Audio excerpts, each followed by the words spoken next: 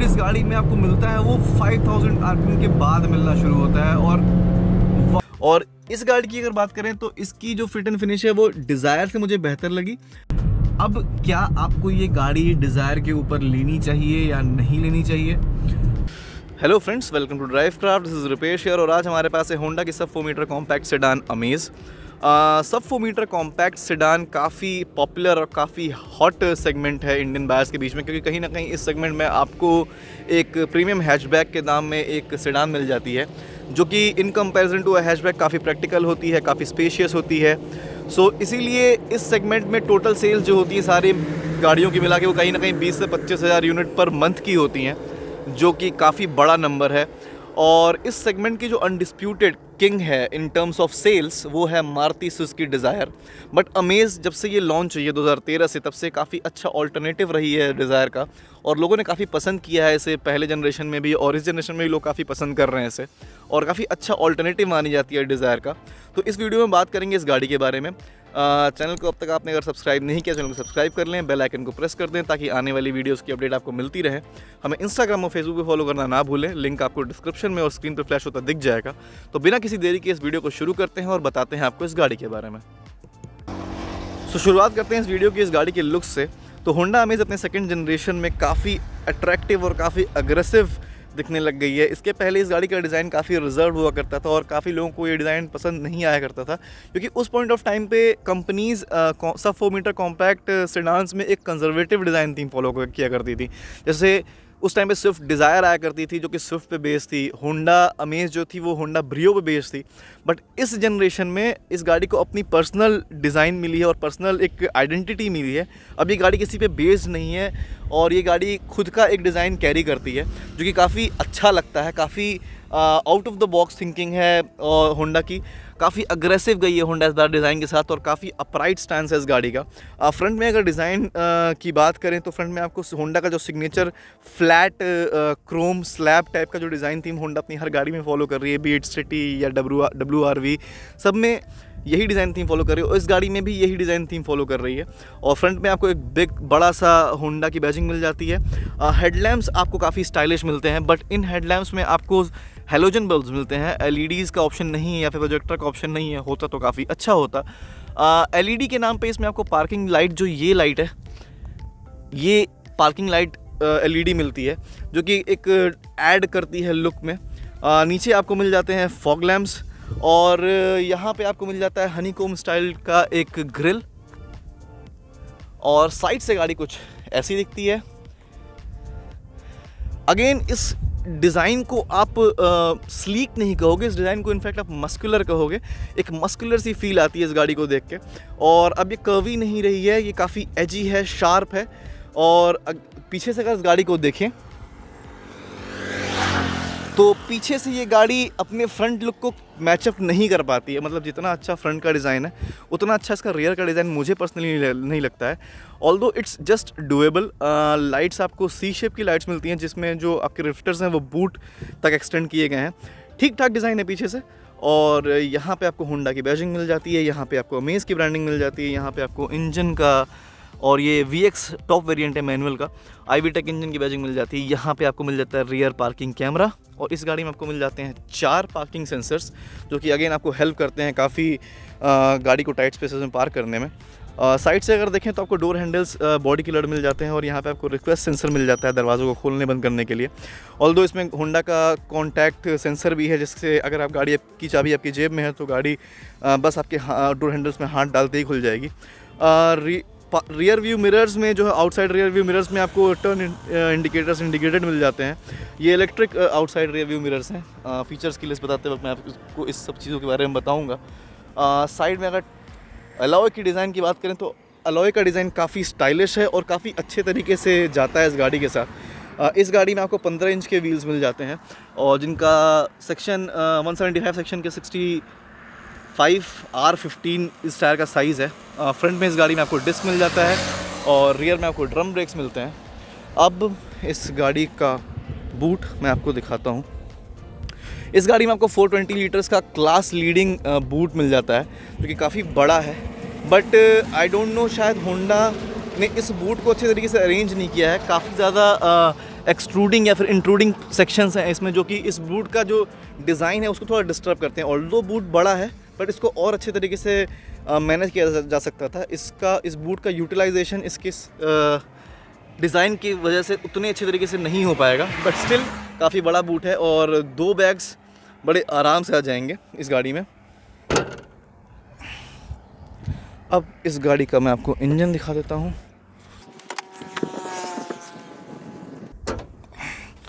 सो so, इस गाड़ी में आपको मिल जाता है ये पेट्रोल वेरिएंट है इस गाड़ी में आपको मिल जाता है होंडा का 1.2 लीटर का आई टेक मोटर जो प्रोड्यूस करता है 89 bhp और 110 न्यूटन मीटर्स का टॉर्क चलने में गाड़ी कैसी है वो गाड़ी चलाते वक्त आपको बताएँगे।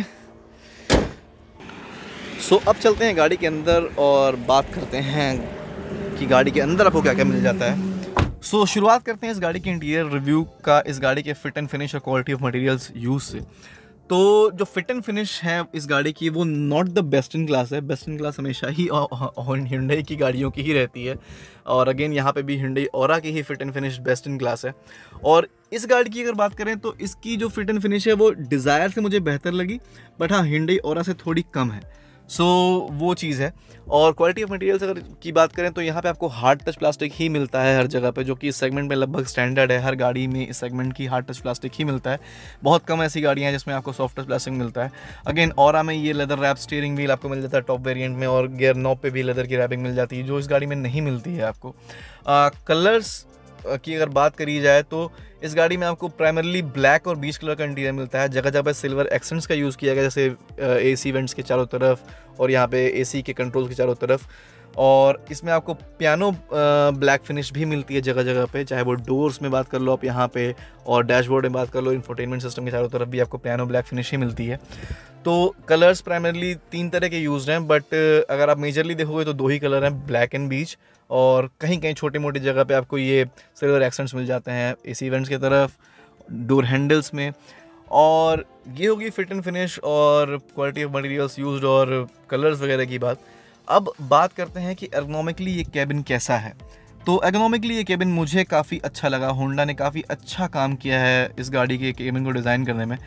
हर चीज़, चाहे वो आपका गेयर लीवर हो गया या फिर आपका एसी के कंट्रोल्स हो गए या फिर इंफोटेनमेंट सिस्टम के कंट्रोल्स हो गए और स्टीयरिंग व्हील सब कुछ काफ़ी वेल डिज़ाइंड है और कुछ दिन चलाने के बाद आपको रोड से नज़र हटाने की ज़रूरत नहीं पड़ेगी किसी भी चीज़ को यूज़ करने के लिए। तो ये काफ़ी अच्छी चीज़ है।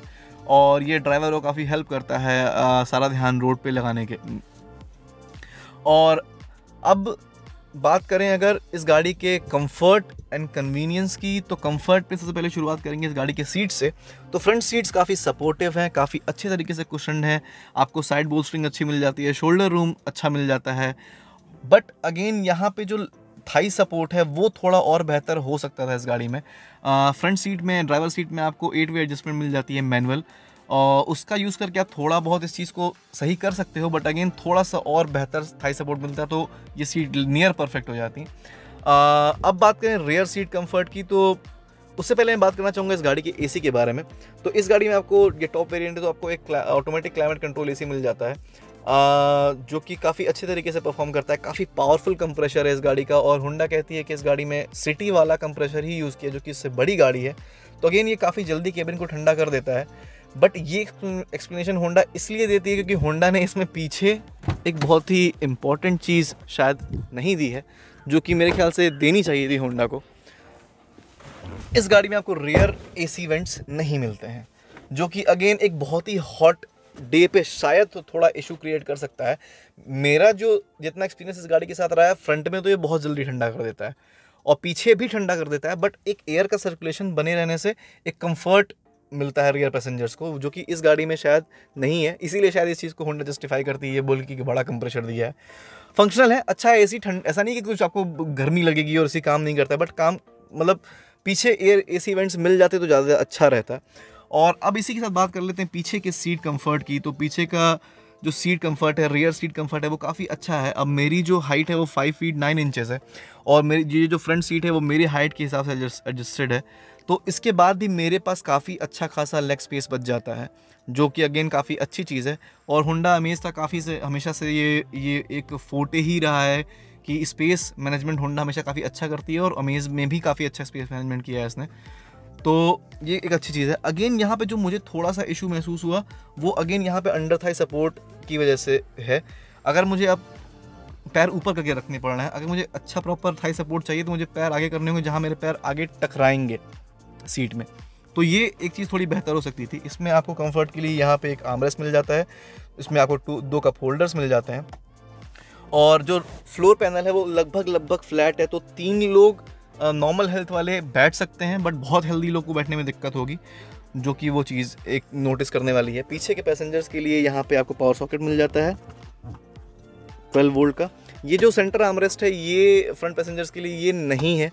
इस गाड़ी में एक साथ नहीं आता है ये आफ्टर मार्केट या फिर एसेसरी के तरीके से होंडा सेल करती है। जो कि अगेन एक ओमिशन है जो मुझे पसंद नहीं आया सेंटर आर्मरेस्ट होंडा को देना चाहिए था। एक और चीज़ जो मुझे कमी लगी वो है rear headrest I don't know Honda को क्या दिक्कत है। सिटी में भी आपको रियर हेडरेस्ट नहीं मिलता है एडजस्टेबल रियर हेडरेस्ट नहीं मिलता है इसमें भी आपको फिक्स ही मिलता है उसमें भी फिक्स मिलता है। बट यहाँ पे अगर एडजस्टेबल मिलता तो काफ़ी अच्छा होता। सो so, ये हो गया पीछे की सीट कंफर्ट सो so, अब बात कर लेते हैं स्पेस मैनेजमेंट की स्टोरेज के लिए इस गाड़ी में आपको क्या क्या मिल जाता है? सो स्टोरेज स्पेसेस आपको यहाँ पे मिल जाते हैं फ्रंट पैसेंजर्स के लिए दो कप होल्डर बीच में और यहाँ थोड़ी जगह मिल जाती है जहाँ पे आप कुछ सामान रख सकते हो अपना वॉलेट रख सकते हो फ़ोन वगैरह रख सकते हो। और ये होगी कुछ सेंटर कंसोल में और साइड में मेजरली इस गाड़ी में आपको स्टोरेज स्पेसेस मिलते हैं। अगर आप ध्यान दो तो यहाँ पे आपको जो डोर पॉकेट्स मिलते हैं वो इतने बड़े मिलते हैं कि यहाँ पे एक बड़ी बोतल आ सकती है एंड एक छोटी बोतल आ सकती है। उसके बाद भी स्पेस बचता है यहाँ पे। तो ये मेजर काफ़ी अच्छा एडिशन और काफ़ी अच्छा है होंडा ने ये काफ़ी अच्छे तरीके से डिज़ाइन किया है डोर्स जिसमें अच्छा स्पेस मिल जाता है। यहाँ पर आपको डोर पॉकेट्स में अच्छा खासा स्पेस मिल जाता है कॉइन वगैरह रखने के लिए वॉलेट वगैरह आप यहाँ भी रख सकते हो। अब अगर बात करें इस ग्लव बॉक्स की तो उस गाड़ी में आपको काफ़ी बड़ा ग्लव बॉक्स मिल जाता है, जो कि अगेन मेरे ख्याल से सिटी से भी बड़ा ग्लव बॉक्स है इसका। तो ये भी एक अच्छी चीज़ है। रियर पैसेंजर्स के लिए अगेन आपको डोर्स में स्पेस मिल जाते हैं, जैसे कि आप वहाँ देख सकते हो कि दो बॉटल एक साथ रखे हुए हैं और कोई दिक्कत नहीं है। और सेंटर आमरेस में आपको कप होल्डर्स वगैरह मिल ही जाते हैं। तो ये होगी जो स्पेस स्पेसेस सोलर स्पेसेस मिलते हैं इस गाड़ी में आपको। अब बात कर लेते हैं इस गाड़ी के इन्फोटेनमेंट सिस्टम के बारे में। इन्फोटेनमेंट सिस्टम में आपको क्या क्या मिल जाता है? सो so, ये इन्फोटेनमेंट सिस्टम आपको होंडा देती है सेवन इंचज़ का टच स्क्रीन देती है इसमें आपको और आप एंड्रॉयड ऑटो और एप्पल कार प्ले मिल जाता है। और इसमें आपको नेविगेशन सिस्टम भी मिल जाता है जो कि काफ़ी हेल्पफुल एडिशन है। और अगर बात करें रिस्पॉन्स वगैरह की तो रिस्पॉन्स काफ़ी अच्छा है लैग नहीं है सॉफ्ट है। रिजोल्यूशन थोड़ा और बेहतर हो सकता था थोड़ा सा मैट फिनिश है इस स्क्रीन पे। सो रिजोल्यूशन थोड़ा और बेहतर हो सकता था बट काम अच्छा करता है ये स्क्रीन और बात करें अगर म्यूज़िक क्वालिटी की या फिर साउंड क्वालिटी की तो इसमें आप गाड़ी में आपको चार स्पीकर मिलते हैं ट्वीटर्स वगैरह नहीं मिलते हैं। तो अगेन जैसा आप एक कोएक्सियल स्पीकर से साउंड क्वालिटी की उम्मीद कर सकते हो वैसी ही आवाज़ आती है। बेस हैवी है थोड़ा सा साउंड इस गाड़ी के म्यूज़िक सिस्टम का। अबव एवरेज कह सकते हो not the best in class but हाँ अबव एवरेज कह सकते हो। सो so, ये एक चीज़ हो गई। अब बात करें इस गाड़ी के आपको इंस्ट्रूमेंट कंसोल की तो इसमें आपको एक सिंपल सा इंस्ट्रूमेंट कंसोल मिल जाता है, जो कि काफ़ी इन्फॉर्मेटिव है। इसमें आपको ट्रिम ट्रिप मीटर्स मिल जाते हैं रेंज मिल जाती है इंस्टेंटेनियस फ्यूल इकॉनमी मिल जाती है आरपीएम मीटर स्पीडोमीटर वगैरह मिल जाता है, जिसको आप यहाँ से कंट्रोल कर सकते हो। बात करेंगे स्टीयरिंग व्हील की तो स्टीयरिंग व्हील में आपको लेफ़्ट साइड में मिल जाते हैं इन्फोटेनमेंट सिस्टम के कंट्रोल जहाँ पे volume up volume down previous track next track source call उठा सकते हो, कॉल डिस्कनेक्ट कर सकते हो और वॉइस कमांड्स के लिए। इस गाड़ी में आपको एक बहुत ही हेल्पफुल और काफ़ी अच्छा फीचर मिल जाता है क्रूज़ कंट्रोल का, जो कि अगेन काफ़ी अच्छा एडिशन है और काफ़ी हेल्पफुल होता है लॉन्ग जर्नीज़ में आपको थकने से बचाता है। एंड ऑल्सो ये फ्यूल इकॉनमी भी इंप्रूव करता है। अगर आप प्रॉपरली क्रूज़ कंट्रोल का यूज़ करो तो आप एक बेहतर फ्यूल इकॉनमी निकाल सकते हो हाईवेज़ के ऊपर। अब बात करते हैं इस गाड़ी में सेफ्टी के। इनफैक्ट सेफ्टी के बारे में पहले बात कर लेनी चाहिए बट अब बात कर लेते हैं पहले रह गए तो अब बात कर लेते हैं। इसमें आपको दो एयर बैग्स मिलते हैं थ्रू आउट द रेंज चाहे आप बेस मॉडल लो या फिर आप top of the line V X trim लो उसमें भी आपको दो एयर बैग्स मिलते हैं।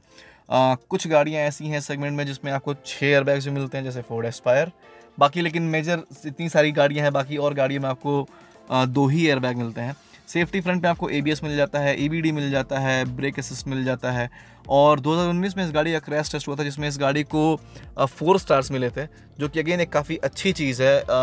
सेफ़ कार है ये काफ़ी, जो कि अगेन एक बायर्स का ट्रस्ट जीतने में काफ़ी हेल्प करेगा होंडा का।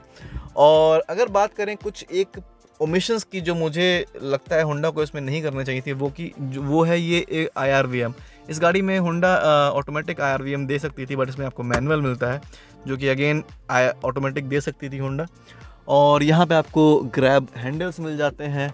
So this was it for the interior part जो लाइट है इस गाड़ी की, वो सिंगल लाइट मिलती है आपको भी सेंटर में। ऑल अच्छा थ्रो है बट थोड़ा और बेहतर हो सकता था। मतलब कभी कभी कुछ गिर जाए नीचे, वहाँ पे फुटवेल्स में तो उतना हेल्पफुल नहीं होता है फ़ोन वोन खोजना पड़ जाता है। बट ठीक है काम कर देता है। फ्रंट ड्राइवर के लिए आपको यहाँ पे वैनिटी वीरर नहीं मिलता है। पैसेंजर के लिए मिलता है। सो so, अगेन वो एक चीज़ है।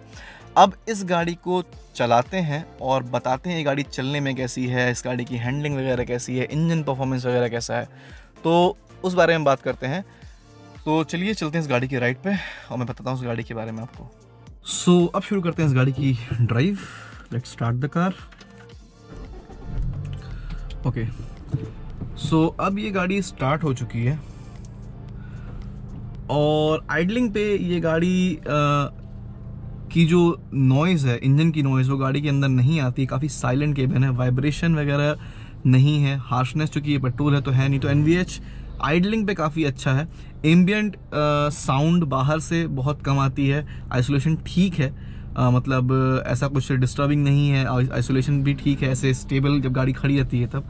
अब इस गाड़ी को चलाते हैं।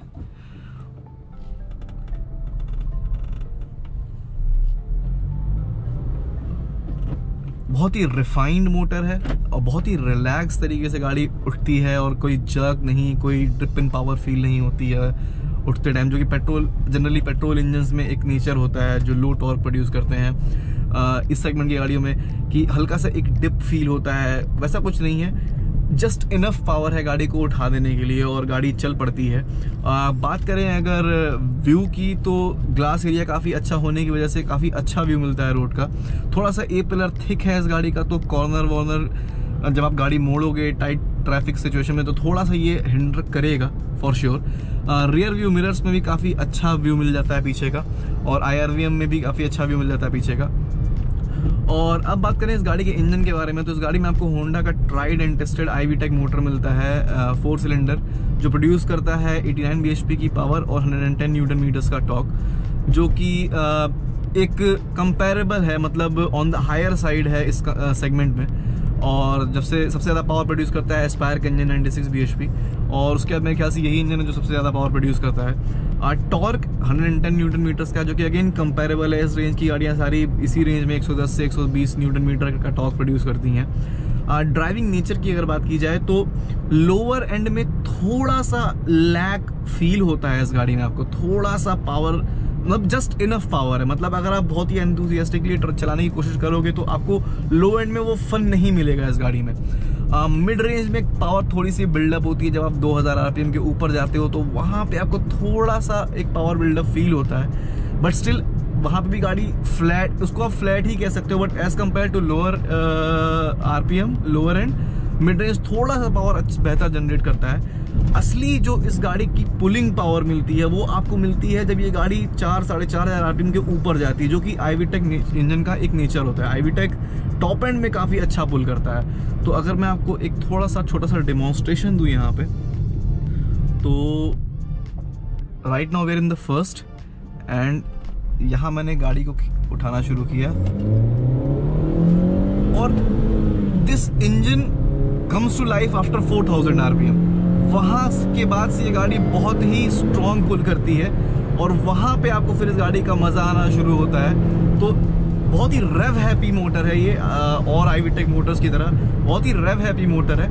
लोअर एंड में आपको जितना जो लैग या फिर जो लॉस इन पावर या फिर जो पावर कम फील होती है, ये इंजन टॉप एंड में उस चीज़ को मेकअप कर देता है। हाँ फन टू ड्राइव अगर आप कहोगे तो हाँ लोअर एंड में उतना फन टू ड्राइव नहीं है। मिड रेंज थोड़ी फ्लैट है बट टॉप एंड अगेन जो इस मोटर की खासियत है टॉप एंड इस गाड़ी का अगेन हर आईवी टेक मोटर की तरह इसका भी काफ़ी अच्छा है। तो ये हो गई इंजन की बात। इस गाड़ी में आपको फाइव स्पीड का गियर बॉक्स मिल जाता है, जो कि अगेन एक स्मूथ शिफ्टिंग गियर बॉक्स है। मैं इस गाड़ी को थर्ड गियर में या फिर फोर्थ गियर में डाल देता हूँ, और right now we are at thirty forty अब मैं यहाँ पे इस गाड़ी को ऐसे टर्न करूँगा, और अगर मैं यहाँ से इस गाड़ी को उठाऊँगा तो कोई जिटर फील नहीं होती है। मतलब ये गाड़ी इस वक्त फोर्थ में है और ये धीरे धीरे अपना स्पेस पकड़ रही है। कोई क्लच कोई गियर में जिट जिटरिंग और गाड़ी झटके नहीं लेती है।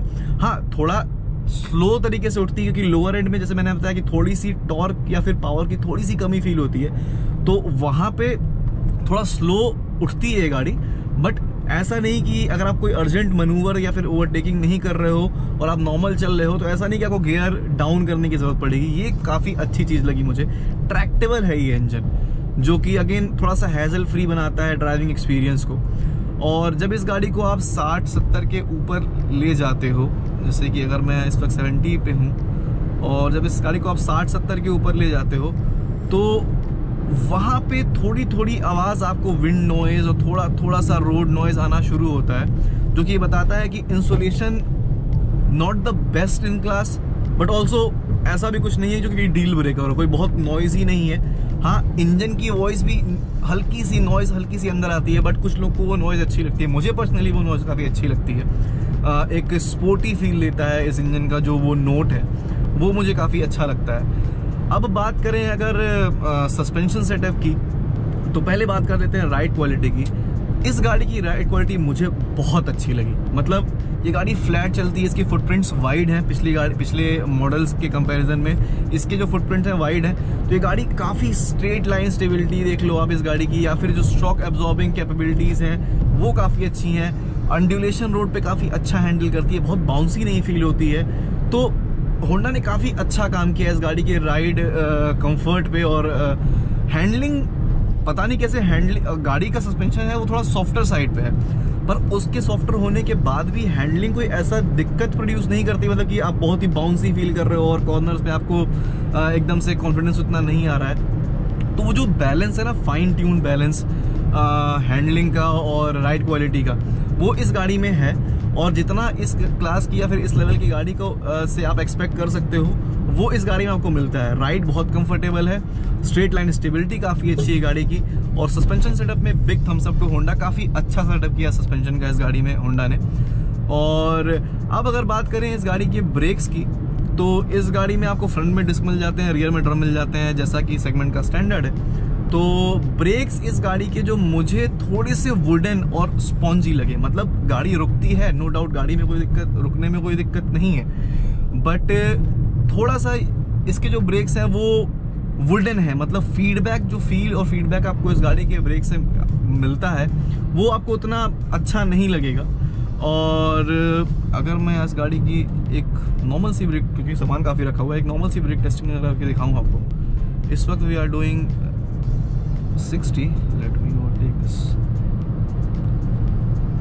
और अगर मैं यहाँ पे कंप्लीट ब्रेक प्रेस कर दूँ तो गाड़ी रुकती है। गाड़ी के रुकने में कोई दिक्कत नहीं है। एबीएस भी काफ़ी अच्छे तरीके से कैलिब्रेटेड है और कोई बहुत इंट्रूसिव नहीं एक्शन होता है एबीएस का। बट जो फीडबैक आपको ब्रेक पैडल से मिलता है, वो उतना अच्छा मुझे नहीं लगा। वो थोड़ा और बेहतर हो सकता था। So this was it for the braking part अब बात करें इस गाड़ी के अगर माइलेज की तो माइलेज इस गाड़ी का काफ़ी अच्छा है। मतलब माइलेज के लिए हमेशा ये डिज़ायर को तक, टक्कर देती आई है। तो माइलेज इस गाड़ी का आपको शहर में 12 से 14 मिल जाएगा depending on your riding style driving style अगर आप बहुत एग्रेसिवली चला रहे हो तो शायद 11 से ले 11 12 तक आपको मिल जाएगा। और अगर आप नॉर्मल अच्छे लाइट फुट तरीके से चला रहे हो, और बहुत अग्रेसिव गियर बहुत हाई आर में जाकर गियर शिफ्टिंग नहीं करो तो चौदह तक का आइलेज भी निकलता है शहर में। हाईवे पर ये गाड़ी उन्नीस, बीस भी निकाल देती है, अगर आप एफिशेंटली क्रूज कंट्रोल का यूज़ करो और बहुत ज़्यादा एक कॉन्स्टेंट स्पीड पे चलो, बहुत ज़्यादा अप एंड डाउन और बहुत ज़्यादा ट्रिपल डिजिट स्पीड्स 120 के या 100 के वो बहुत ऊपर नहीं जा रहे हो 110 120 नहीं कर रहे हो तो 1920 आप निकाल सकते हो। अगली चीज़, अगर इस गाड़ी के बारे में मैं आपको बताऊँ तो वो है इस गाड़ी का स्टीयरिंग व्हील अब स्टीयरिंग व्हील जो इस गाड़ी का है, वो लोअर स्पीड्स पे काफ़ी अच्छा रिस्पॉन्स देता है। एक छोटा सा स्लैक है बीच में, जहाँ पे उतना रिस्पॉन्स एक एक डेड सेंटर सा है स्टीयरिंग में बट लोअर स्पीड्स पे काफ़ी अच्छा कंट्रोल देता है, काफ़ी अच्छा फीडबैक देता है। हायर स्पीड्स पे जब इस गाड़ी को आप लेके हायर स्पीड पे जाते हो ट्रिपल डिजिट स्पीड्स पे जाते हो हंड्रेड के ऊपर जाते हो तो वहाँ पे इस गाड़ी का जो अपराइट स्टांस है वो आपको फील कराता है कि ये गाड़ी बहुत ज़्यादा एरोडाइनमिक नहीं है। मतलब आ, हाई स्पीड्स पे जब आप ट्रिपल डिजिट की स्पीड्स के ऊपर जाते हो तो स्टीयरिंग का जो फीडबैक है वो उतना सफिशिएंट नहीं लगता है और उतना आपको कॉन्फिडेंस पैरिंग स्टीयरिंग नहीं लगता है हाई स्पीड्स पे। ट्रिपल डिजिट स्पीड्स में आप 100 तक काफ़ी कंफर्टेबल रहते हो। गाड़ी अगर स्ट्रेट लाइन में चल रही है तो काफ़ी फ्लैट चलती है, कोई दिक्कत नहीं है। बट अगर आप ट्रिपल डिजिट स्पीड या फिर हाई स्पीड्स पे कोई मनूवर करते हो, जैसे अगर आप लेन चेंज करते हो तो वहाँ पे आपको एक बॉडी रोल जैसे अभी थोड़ा सा एक बॉडी रोल फील होता है इस गाड़ी की अपराइट स्टैंड होने की वजह से। वो एक चीज़ है। ओवरऑल स्टीयरिंग लाइट है और जो आप जिस इंटेंशन से आप स्टीयरिंग में इनपुट डालते हो वो चीज़ आपको आ, गाड़ी में ट्रांसलेट होती दिखती है गाड़ी डायरेक्शन चेंज करती है। बट मैं वो हाई स्पीड में इस स्टीयरिंग के कंट्रोल की बात कर रहा था। ओवरऑल मुझे स्टीयरिंग से सच कोई शिकायत नहीं है। सो so, अब एक छोटा सा परफॉर्मेंस टेस्टिंग कर लेते हैं इस गाड़ी की। So right now in the first gear so there is sufficient amount of wheel spin second gear में भी व्हील स्पिन करती है गाड़ी। और जो असली पुल इस गाड़ी में आपको मिलता है, वो 5000 आरपीएम के बाद मिलना शुरू होता है। और वहाँ पे इस गाड़ी के इंजन का आपको अच्छा टेस्ट मिलता है कि आईवी टेक इंजन किस चीज़ के लिए फ़ेमस है so you can see we did 140 approximately 140 तो वहाँ जो टॉप एंड है इस गाड़ी का, वो काफ़ी स्ट्रॉन्ग है। एक चीज़ जो मैं आपसे बताऊँ, वो है जो, जब ये गाड़ी ट्रिपल स्पीड को क्रॉस करती है, जब ये 110 120 के ऊपर जाती है तो इसका जो बॉडी है, वो जो इसका अपराइट स्टांस है एग्रेसिव स्टांस है, वो थोड़ा सा स्टेबिलिटी लूज करना शुरू कर देता है। मतलब जो विंड ब्लास्ट होता है, वहाँ पे थोड़ी सी स्टेबिलिटी और स्टीयरिंग इनपुट भी थोड़ा वेग हो जाता है। बहुत कॉन्फिडेंस पैरिंग ये बहुत ज़्यादा हाई स्पीड पे नहीं लगती है। तो 100 110 तक आप काफ़ी कंफर्टेबल लोगे उसके बाद थोड़ा सा आपको कंट्रोल हटता महसूस होता है गाड़ी से। तो ये एक चीज़ थी।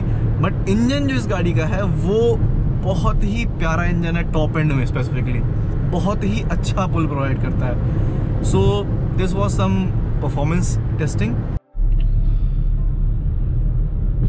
so so, अब बात करते हैं इस गाड़ी के इंजन ऑप्शंस की। तो इस गाड़ी में आपको पेट्रोल और डीजल दोनों इंजन ऑप्शंस मिल जाते हैं। पेट्रोल में आपको आई वी टेक मोटर मिलता है 1.2 लीटर का जो कि मैं अभी चला रहा हूँ मैनुअल ट्रांसमिशन के साथ। पेट्रोल में आपको सीवीटी के साथ भी एक ऑप्शन मिलता है। सी वी गियर बॉक्स के साथ में आपको पैडल शिफ्टर्स वगैरह मिल जाते हैं। और डीजल में आपको मैनुअल के साथ साथ C V T gear box का भी ऑप्शन मिलता है जो कि फ़र्स्ट इन सेगमेंट है। C V T gear box के साथ डीजल सिर्फ़ इसी गाड़ी में आता है। हाँ वहाँ पे जो पावर आउटपुट है मैनुअल में डीजल में आपको 100 bhp और 200 न्यूटन मीटर का टॉक मिलता है और सीवीटी में डीजल इंजन वही डीजल इंजन को डिट्यून कर दिया गया है, वो 80 bhp और 160 न्यूटन मीटर का टॉक बनाता है।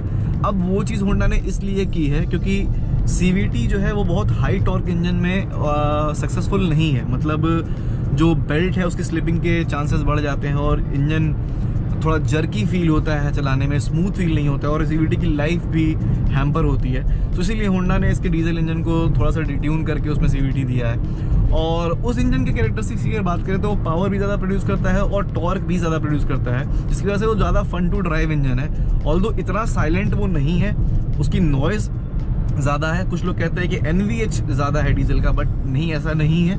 वाइब्रेशन उसमें भी फील नहीं होते हैं हार्शनेस उसमें भी फील नहीं होती। है हाँ नॉइज़ नॉइज़ मैं मान सकता हूँ नॉइज़ थोड़ा ज़्यादा प्रोड्यूस करता है वो इंजन बट वो एक माइलेज मशीन है। उसका माइलेज कुछ लोगों को 25 प्लस का माइलेज भी वो इंजन निकाल के देता है। सो so, एक बहुत अच्छा ऑप्शन वो भी हो सकता है आपके लिए। आ, इस गाड़ी की प्राइस की अगर बात करें तो प्राइस आपको इस गाड़ी का सिक्स लैख सिक्स थाउज़ेंड से लेकर nine lakh nine nine thousand एक शोरूम मिलता है। जो रे top of the line diesel variant है। अगर बात करें कंपटीशन से कंपैरिजन की तो इस गाड़ी, इस सेगमेंट में ये गाड़ी कॉम्पीट करती है डिज़ायर से, मारुति की डिज़ायर से, जो कि सेगमेंट किंग है हिंडई और से टाटा की टिगोर से और फोर्ड की एस्पायर से। अब क्या आपको ये गाड़ी डिज़ायर के ऊपर लेनी चाहिए या नहीं लेनी चाहिए? तो मेरे हिसाब से बेस्ट इन सेगमेंट है ये गाड़ी, क्योंकि इसमें आपको होंडा की रिलायबिलिटी मिलती है, जो कि अगेन कोई डाउट नहीं है कि काफ़ी अच्छी रिलायबिलिटी प्रोवाइड करता है हुंडा सर्विस सेंटर्स में काफ़ी अच्छा रिस्पॉन्स मिलता है आपको। और एक नोन ब्रांड है होंडा और इस गाड़ी को मैं इसलिए रिकमेंड करूँगा क्योंकि कुछ, हर गाड़ी इस सेगमेंट में किसी ना किसी चीज़ के लिए जानी जाती है। जैसे कि अगर आपको ब्रांड वैल्यू चाहिए और अच्छी रीसेल वैल्यू चाहिए और अच्छा माइलेज चाहिए तो आप डिज़ायर की तरफ़ जाओगे। अगर आपको अच्छी फिट एंड फिनिश चाहिए इक्विपमेंट लेवल अच्छा चाहिए तो आप इंटीरियर क्वालिटी अच्छी चाहिए तो आप हिंडई और की तरफ़ जाओगे। अगर आपको ड्राइविंग प्लेजर चाहिए तो आप फोर्ड एस्पायर की तरफ़ जाओगे। लेकिन अगर आपको सब कुछ थोड़ा थोड़ा चाहिए मतलब आपको सब कुछ चाहिए कि आपका इंटीरियर भी ठीक ठाक मिल जाए, आपको और इंस्ट्रूमेंट मतलब कुछ आ, आपको जो फीचर्स हैं वो भी ठीक ठाक मिल जाए आपको अच्छा ब्रांड वैल्यू मिल जाए रिसेल वैल्यू अच्छी मिल जाए माइलेज अच्छा मिल जाए सब कुछ थोड़ा थोड़ा चाहिए अगर आपको तो ये एक बेस्ट कार है अभी भी इस सेगमेंट की और एक बेहतर ऑल्टरनेटिव है डिज़ायर से क्योंकि इस गाड़ी में आपको वो चीज़ मिलती है जो डिज़ायर में आपको नहीं मिलती है सेफ्टी इसमें आपको फोर स्टार रेटेड सेफ्टी मिलती है और डिज़ायर की खैर बात ही क्या करें उसके बारे में आपको पता ही है कि सेफ्टी की में आपको डिज़ायर में क्या मिलता है। सो so, ओवरऑल अगर पैकेज की बात करें तो इस गाड़ी में जो आपको पैकेज मिलता है ओवरऑल पैकेज मिलता है वो बाकी गाड़ियों से बेहतर मिलता है। तो अगेन वो एक चीज़ गाड़ी के फेवर हो जाती है और इसीलिए मेरी चॉइस इस सेगमेंट में हमेशा अमेज ही रहेगी। और इस वीडियो में इतना ही। अगर वीडियो अच्छी लगी हो तो वीडियो को लाइक करें वीडियो को शेयर करें और अपने कमेंट्स में कमेंट सेक्शन में ज़रूर बताएँ। और चैनल को अगर अब तक आपने सब्सक्राइब नहीं किया, चैनल को सब्सक्राइब कर लें, बेल आइकन को प्रेस कर दें। हमें इंस्टाग्राम और फेसबुक पे फॉलो करना ना भूलें। मिलते हैं किसी अगली वीडियो में, तब तक के लिए गुड बाय टेक केयर